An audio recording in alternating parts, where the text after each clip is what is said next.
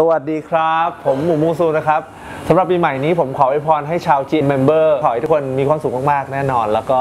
อีกอย่างหนึ่งขอให้ทุกคนมีเสียงเพลงอยู่ในหัวใจนะครับ ขอให้สมหวังทุกประการเลยดีกว่า อยากได้อะไรก็ขอให้ได้สิ่งนั้นนะครับผมขอให้สุขภาพดีนะครับแล้วก็ขอให้มีความร่าเริงในทุกๆวัน ตื่นเช้ามาขอให้สดใสทุกๆวัน มีเรื่องอะไรร้ายๆ ขอให้เย็นนั้นหมดไป